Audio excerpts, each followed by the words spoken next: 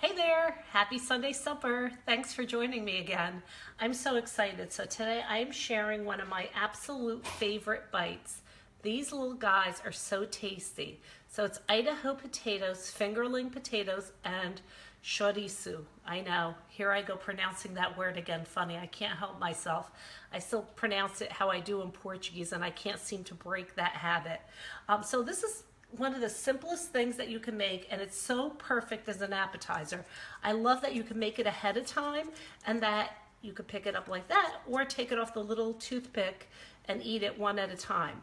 But chorizo gives everything such great flavors. So I love using Idaho potatoes, fingerling potatoes. Um, to me, they are just packed with flavor and they are a little bit nuttier, a little bit creamier.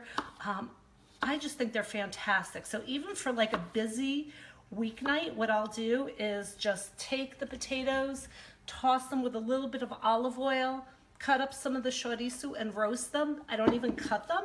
Whoops. And it makes for such an easy side dish. But here's the thing, while most people think of potatoes as a side dish, I really don't. I love using potatoes as a main dish. I don't know if any of you saw my recipe today, but it is actually a fingerling potato and bacon flatbread. Oh my gosh, it's out of this world. I absolutely love it. Um, so, you know, just like all our Facebook Lives, if you have any questions as I'm going along, you know, please feel free to hop in and join along. We've got Heather and Cindy are saying hello, and Marion just shared our video. Thank you, Marion. Hi guys, thanks for joining us. All right, so how many of you have cooked with chorizo? And quick tip on chorizo. So there's different kinds of chorizo. There's the Mexican chorizo, which is a softer, and then this is the really hard Portuguese or Spanish uh, style chorizo. So that's the kind that I use and that I love. Um, if you've been following me, you know that I cook a lot with this because just a tiny little bit gives it so much flavor. Um, have you guys cooked with chorizo by chance? But not. Susan had potatoes as the main dish last night for dinner. What did you make, Susan?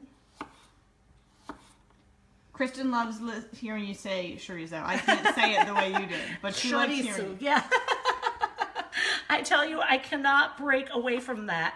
Yeah, of all like the things that you learn to pronounce differently, it's one of those words I just can't say it any other way. I try. I try to say chorizo like you guys do, but it just comes out chorizo for me.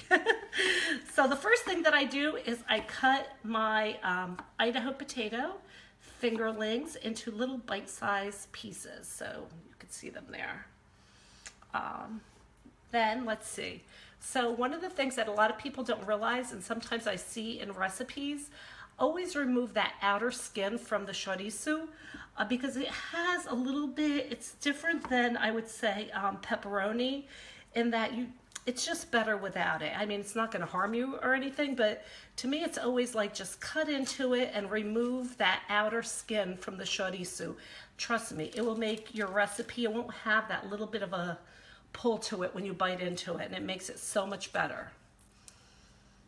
Susan says last night she had a baked potato with avocado and egg and oh, some cheese. Yum! That sounds like my kind of meal. Totally something that I would put together. I love that idea. And I have to tell you, I don't know that I've ever thought to put avocado on a baked potato, although I love both so much.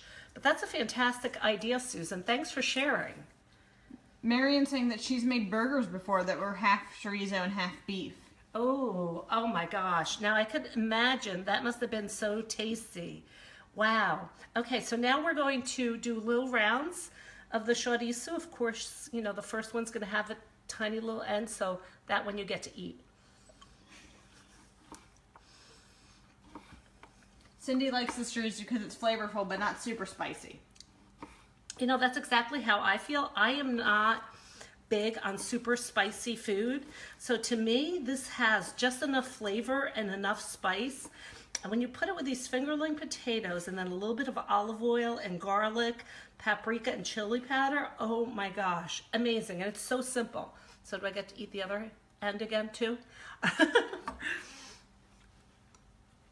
so Marion, in your burgers, do you use, mm, sorry, do you use the Spanish uh, chorizo or the Mexican chorizo? I'm curious. And do you guys notice a difference in the different styles? I like the Spanish one better. But I don't usually look when I'm buying. I just buy blindly. Really? that surprises me. Okay, so I'm going to start um, our little sauce here. And basically all that it is is olive oil. Then we're going to put in a little bit of paprika. And again, paprika, there is a big difference uh, depending on where you get it from. So I love the very like Portuguese or Spanish style paprika. Um, it's not quite as smoky and I really, I love the sweet flavors of it. Then we're gonna do a little bit of garlic powder. And if you follow my recipe, I actually have all the quantities down, but yes, I'm one of those, you know, a little bit of this, a little bit of that. That's how I cook, what can I say? Now, as far as the chili powder, I am a wimp, so I only put in a tiny little bit. But feel free to put in whatever, you know, if you want to kick this up, by all means, you know, if your family can handle it, go for it. Marion says that she used the Spanish chorizo when she made her burgers. Oh. And Susan didn't realize there was a difference, so she thanks you for that. But we've got some people just joining in who want to know what the difference is if you want to go over it again. Yes, absolutely. So Spanish chorizo is more ground. It's a little bit wetter, um, a little bit mushier. It's traditionally what you would see in, you know, a lot of the Spanish dishes. Um, this is more of a, um, usually you would see it in Spain or Portugal. So it's a harder chorizo, I would say. Feels almost more like a consistency of like a pepperoni. Um, but like I said, just take a minute and remove that outer skin because it'll make such a difference in your dishes. And all you do is just go in there and then just peel it off after making a cut it really will make such a huge difference. There's nothing worse than, you know, when you bite into something and it like it tastes really good, but something just doesn't feel right. And I'm afraid that's what happened when you don't remove it. And I've seen people do that before. Okay, so now I have cut up my fingerling potatoes and you will notice they're almost the perfect size. Not, you know, absolutely, but pretty close, right? And that's what makes this appetizer so fun. I love that you can make this ahead of time and put the olive oil mixture on it and then bake it right before your guests get there. So this is so perfect when you're entertaining, you know, especially if you're looking for an appetizer that, you know, you don't need a plate for. You literally, after it's cooked, of course, I should take this, the ones that are done. You know, you could put the whole thing in your mouth or you could slide them off. So however you want to serve them. Um, but I particularly love it. So then you just take a brush and you just go like this and coat them with the mixture and put them on a baking dish. Um, it really is pretty much that simple. And Kristen like, just pointed out this is a great gluten-free option as well. Ah, you know what? That's a great tip. I hadn't even thought about that, Kristen. That really is a fantastic tip. So here. Marion is craving some chorizo now. Yeah. She says this little app looks delicious and she loves how easy it is. So, so easy.